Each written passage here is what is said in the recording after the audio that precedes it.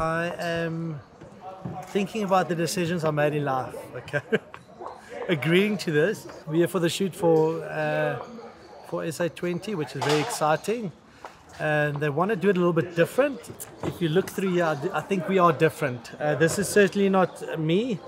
Um, I didn't bring this along. I was provided it, uh, and taken a little bit out of my comfort zone, to be honest. Were the shoes also provided? Sure? The shoes as well. But they do fit perfectly. Was cricket one of your sports? Yeah, I love. I still do. I love cricket. I, I captained my first team. Uh, played for the for the first team for three years at my school. Rugby was always the number one, so I was never gonna gonna make uh, cricket a you know a job, I suppose, a career. But I absolutely love it. You know, I love watching the Proteas. I love T20 cricket, and and every now and then when I get asked to to play again in exhibition matches or whatever, you know, I, always enjoy it. So it's, it's good fun. Bowler? Batsman, wicket keeper. Oh, okay.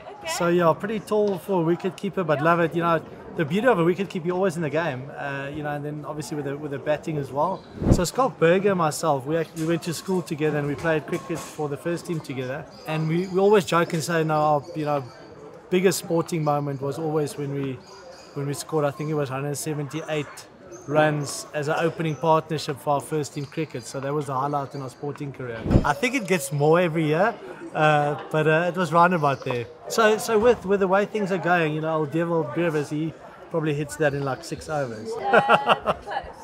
Are you going to go to the SA20 games? Who's your, I'd love your to. So, but I'm based in Paarl. I live in Paarl, so the Paarl Royals definitely my team. I'll uh, I'll entertain some of the boys and, and definitely go watch. I I think it's just brilliant for for sport in South Africa, and, and obviously Paarl being one of the smaller venues. I think for our little community there, it's going to be great. Hopefully, we can pack the stands. Hopefully, the kids can come out and, and watch and just enjoy, you know, enjoy cricket all around. There's, we've got a lot of nippy bowlers at the moment. If you had to go out on the pitch now, who would you be most petrified to face? Well, I think Anrich Nortje, just the pace at which he bowls. Um, so people always say, you know, what do you do? do you, would you rather face like the All Blacks in a test match and smash them? Or will you face one of those quick bowlers? I'd play the All Blacks any day.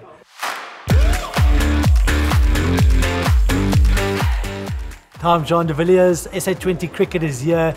Go out, go get your tickets, come watch the games. It's going to be an absolute joy. I even dressed up for the occasion.